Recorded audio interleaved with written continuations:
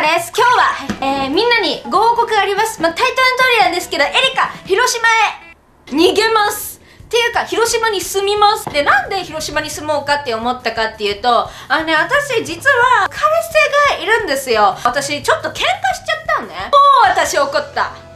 広島県へ逃げますっていうのは嘘です。ドッキリです。でも広島県に行くのは事実です。で、どうして広島県へ行くかっていうと、えー、私日本全国制覇しますって言ってたじゃないですか。詳しく知りたい方は、まあ、概要欄にリンクが貼ってるので、ぜひ飛んでください。はい。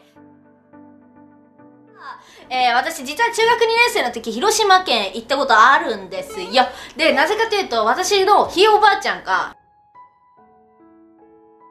広島県って原爆の戦争とか有名じゃないですか。で、実際あの日、あの戦争を体験したんですよ。で、ひいおばあちゃんはまあ生き延びたんですよ。で、すごいなって思って。で、実際に私原爆ドーム生で見たことあるんですけど、でもまだ私はやり残したことがあって、それは何かっていうと、平和資料館に行ったことないんですよ。なので、やっぱひいおばあちゃんは戦争を体験したんで、なので実際に平和資料館に行ってみて自分の目で戦争ってどんな感じだったんだろうって見てみたいなと思って。そうそれがまあ一つの理由でございます。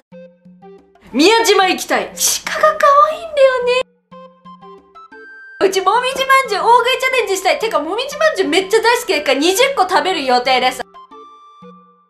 が食べたい。あ、あと広島風お好み焼き食べたいし、あと繁華街も歩いてみたい。もうやってみたいこといっぱいあるの。なので、まあ日本全国制覇企画の一つとして、広島県へ行こうと思います。はい。それでみんなにね、動画をお届けします。広島県行くよっていうご報告動画でした。次回予告広島に行ってきますハプニング発生新幹線乗り間違えたり果たしてどんな行動をとるのかはい皆さんこの動画を見てくれて本当にありがとうございましたこ画がもしよかったらチャンネル登録よろしくお願いします。ではではでは次回のエリカチャンネルとお会いしよう。バイバイ。